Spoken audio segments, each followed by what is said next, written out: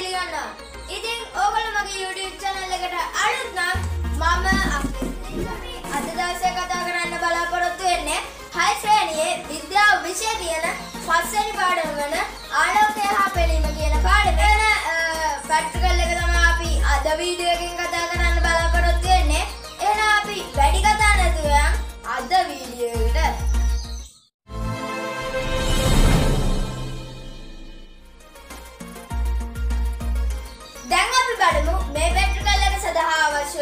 ද්‍රව්‍ය මොනවද කියලා. අපිට මේ පැට්‍රිකල් එක සඳහා පළමුවෙන්ම අවශ්‍ය කරනවා වීදුරු බෝතලයක්. ඉතින් අපිට මේ සඳහා තවත් අවශ්‍ය කරනවා අ, සිදුරක් විදගත්ත කළු අ, කඩදාසියෙන් මුහුණට අලවගත්ත අ, විදුලි පන්දමක්.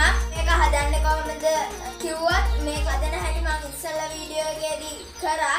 ඉතින් ඒ වීඩියෝ එකත් ඔයගොල්ලෝ බලලා මේක මේ ආකාරයට හදාගන්න මම ඒ වීඩියෝ එකේ කාඩ් එක මෙතනින් දානවා ඒ වගේම පල්ලෙහා ඩිස්ක්‍රිප්ෂන් බොක්ස් එකේ ලින්ක් එක දානවා අ, ඒ වගේම අපිට තවත් අවශ්‍ය කරනවා අ, සබන් ජලය ඒ වගේම කුලීලය එහෙනම් දැන් අපි ප්‍රැක්ටිකල් එකක් කරමු අපි මේ අ, අපේ වීදුරු බෝතලේට අ, සබන් ජලය දාගමු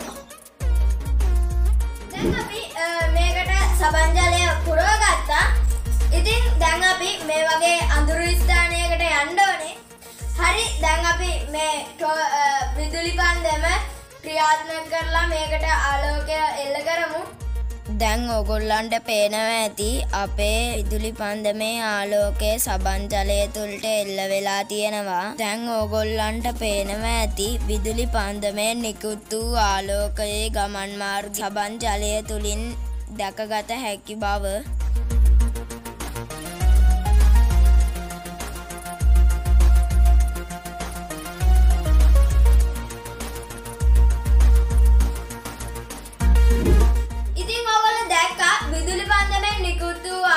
ආලෝකයේ ගමන් මාර්ගය සබන් ජලය තුලින් අපිට පෙවුණුනා.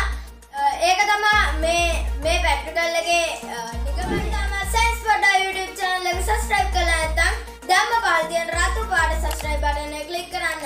ඊට පස්සේ එන notification bell icon එකත් අනිවාර්යෙන් all කරලා තියාගන්න. ඒ වගේම ඔයගොල්ලෝ මගේ වීඩියෝ එකට කැමති නම් like කරන්න.